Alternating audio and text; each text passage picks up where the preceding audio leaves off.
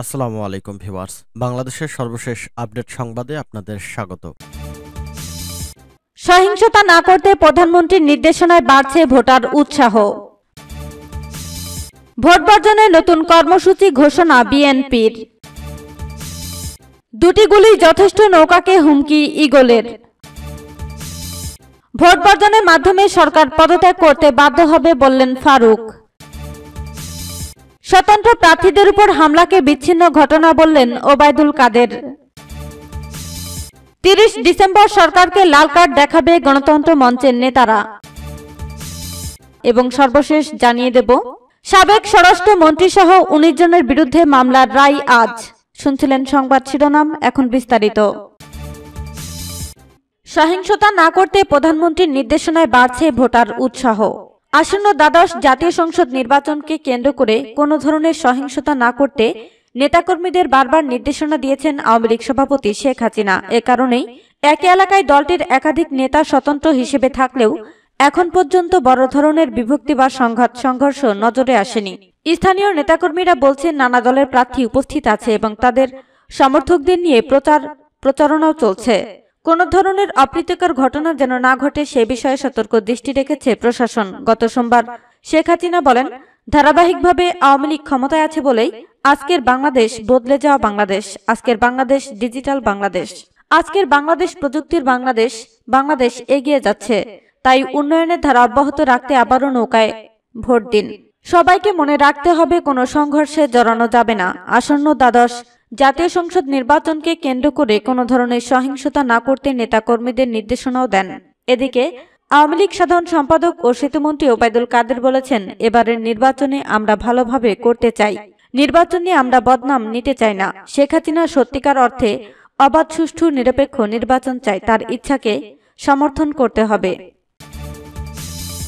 Vote বর্জনের নতুন কর্মসূচি ঘোষণা বিএনপির। ভোট বর্জন এবং অসহযোগ আন্দোলনের অংশ হিসেবে আরও দুদিনের নতুন কর্মসূচি ঘোষণা করেছে বিএনপি।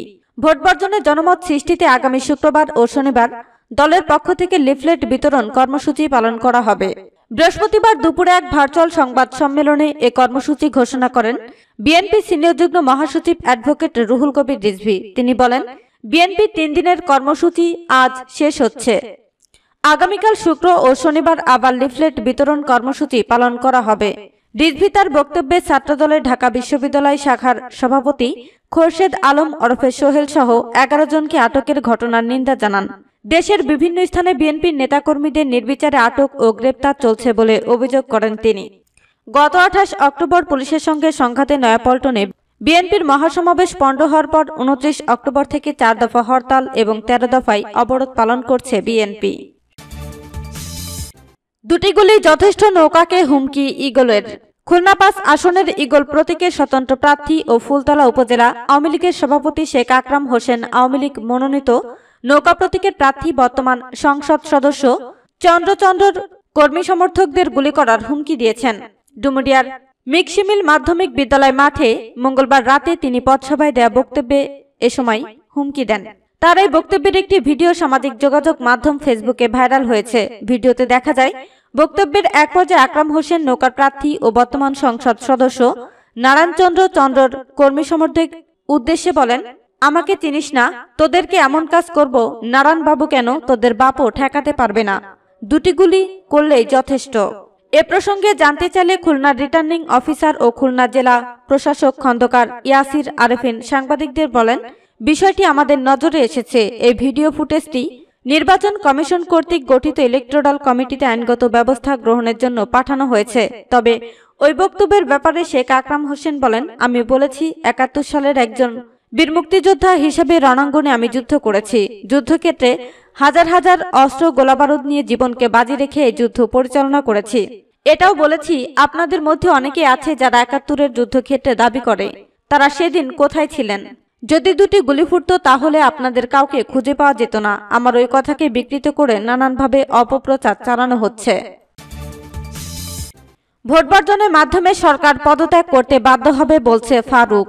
দ্বাদশ জাতীয় সংসদ নির্বাচনে ভোট বর্জনের মাধ্যমে সরকার পদত্যাগ করতে বাধ্য হবে বলে মন্তব্য করেছেন বিএনপি চেয়ারপারসনের উপদেষ্টা ও সাবেক বিরোধী দলীয় চিফ হুইপ জয়নুল আবেদিন ফারুক। তিনি বলেন সরকারের পাতানো নির্বাচন বর্জনের জন্য আগামী এক তারিখ থেকে জনগণকে আরও সম্পৃক্ত করে অবৈধ নির্বাচন বর্জন করা হবে এবং সেই বর্জনের মাধ্যমেই সরকার পদত্যাগ করতে বাধ্য হবে। বৃহস্পতিবার সকালে জাতীয় প্রেস ক্লাবের পূর্ব গেটের সামনে লিং রোডে জাতীয়তাবাদী মৎস্যজীবী দলের উদ্যোগে লিফলেট বিতরণ কর্মসূচিতে কথা বলেন তিনি।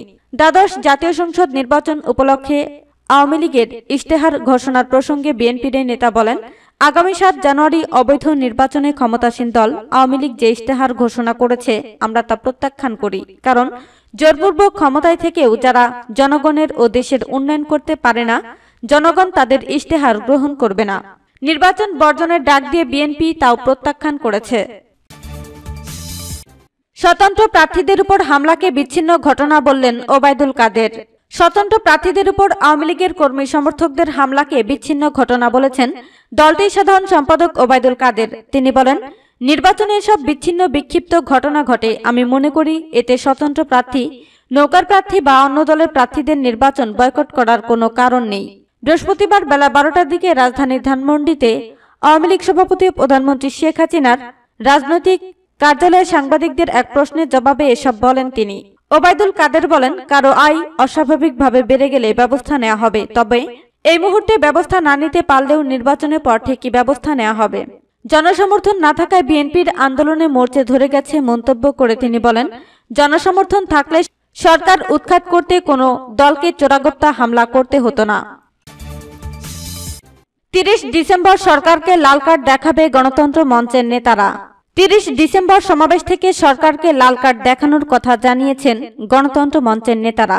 বিরোধী এই জোটের নেতারা জানান, ভোট বর্জনের মাধ্যমে সরকারকে সমুচিত জবাব দেবে জনগণ। তাদের অভিযোগ, আওয়ামী লীগের নির্বাচনী ইশতেহার মাকাল ফলের মতো হয়েছে। সরকার বিরোধী চলমান আন্দোলনের অংশ হিসেবে রাজধানীর কারওয়ান বাজার এলাকায় লিফলেট বিতরণ করেন গণতন্ত্র মঞ্চের নেতারা। এ সময় তারা অভিযোগ করেন, সরকারকে বৈধতা দিতেই নির্বাচনী খেলা চলছে। এর আগে সংক্ষিপ্ত সমাবেশে বিরোধী নেতারা জানান, গণতন্ত্র মঞ্চের লড়াই ভোট ও ভাতের অধিকারের আদায়ের লড়াই। সাত জানুয়ারি সাধারণ মানুষের ভোটের অধিকার কেড়ে নেওয়ার পায়তারা চলছে বলে অভিযোগ করেন বিরোধী নেতারা। এর বিরুদ্ধে জনগণকে প্রতিবাদ ও প্রতিরোধ গড়ে তোলার আহ্বানও জানান তারা। সাবেক স্বরাষ্ট্রমন্ত্রী সহ উনিশ জনের বিরুদ্ধে মামলার রায় আজ। পুলিশের কাজে বাধা দেয়া সহ নাশকতার অভিযোগে বিএনপির ভাইস চেয়ারম্যান ও সাবেক স্বরাষ্ট্রমন্ত্রী air vice marshal Altaf Hossain Chowdhury সহ উনিশ জনের বিরুদ্ধে গুলশান থানায় দায়ের করা মামলার রায় ঘোষণা করা হবে আজ। ঢাকার মেট্রোপলিটন ম্যাজিস্ট্রেট রাজেশ চৌধুরী, ঢাকার মেট্রোপলিটন ম্যাজিস্ট্রেট রাজেশ চৌধুরী এ রায় ঘোষণা করবেন। রোববার যুক্তিতর্ক ও শুনানি শেষে আদালত রায়ের তারিখ ধার্য করেন। আদালতের বেঞ্চ সহকারী জনি খন্দকার জানান রায় ঘোষণার জন্য আজ দিন ধার্য আছে। মামলার অপর আসামিরা হলেন major Mohammad Hafizuddin Ahmed, major Mohammad Hanif, M A Awal Khan, M A Kaiyum Mohammad Dulal, Mohammad Rasel Mainul Islam Tofail Ahmed ওরফে লিটন, মোহাম্মদ আবুল হোসেন ওরফে বাবু, মোহাম্মদ আলমগীর হোসেন ওরফে রাজু, মোহাম্মদ জাহাঙ্গীর আলম, আরিফুল ইসলাম, মোহাম্মদ বিল্লাল হোসেন, মোহাম্মদ শামসুল হক মিয়াজি, মোহাম্মদ বিপ্লব, মোহাম্মদ খুরশিদ আলম মমতাজ, মোহাম্মদ মোশাররফ হোসেন ও মোহাম্মদ মাহবুব। মামলার অভিযোগ থেকে জানা যায়, আসামিরা দুই সালে চার জুন গুলশান থানার মহাখালী ওয়ারলেস গেট পানির ট্যাঙ্কির সামনে রাস্তার উপর অবৈধ সমাবেশ থেকে পুলিশের কাজে বাধা দেন এবং আক্রমণ করেন। এ সময় রাস্তায় চলাচলরত গাড়ি ভাঙচুর ও আগুন ধরিয়ে দেয়।